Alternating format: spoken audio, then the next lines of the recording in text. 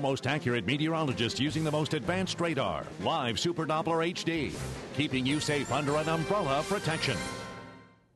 Good to be back with you again. A day with a few sprinkles here in the metro, some heavier rain to the south, 75 currently. Dew point at 66, 74%. The wind is calm, the pressure is steady, 2998. Rainfall amounts heaviest, Lake Panorama today, 2,600 of an inch. Everybody else, as you can see, basically just picking up a few sprinkles. Here's what's left of this line. It's forming along a front, slowly sagging through the state light to moderate rain from Corning through Creston down toward Mount Ayr and Lamoni.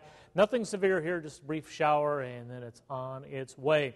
Here's a look at the complex as the cold front starting to push into the state today. Again, mainly light showers with the exception of a few spots that had a little bit of thunder. High pressure to the north will bring us a north northeast wind during the day. Tomorrow will be very pleasant, very comfortable with the temperatures around 80 or lower 80s.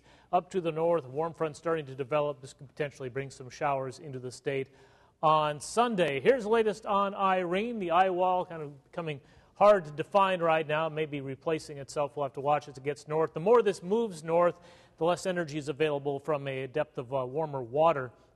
And it will continue to weaken, but right now, still a Category 2 storm, and that storm will probably drop down to around a 1 as it makes landfall and then stay at a 1 as it drifts on up to the north. Here is the latest track crossing the Outer Banks, heading up across New York, and then it heads out as just a diminishing area of low pressure.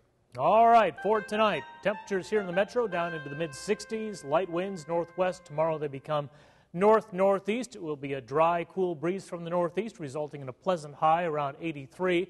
As we head into Sunday, clouds 79, 81 on Monday and early next week. Temperatures continue to look quite nice, lowered mid 80s on Tuesday and Wednesday. Do have a little push of warm air as we get a little bit later in the week might be up close to 90 degrees before we drop on the other side of the front and head back into the lower 80s. Looks fantastic for the most part. At least we're not on the East Coast getting wet. Absolutely.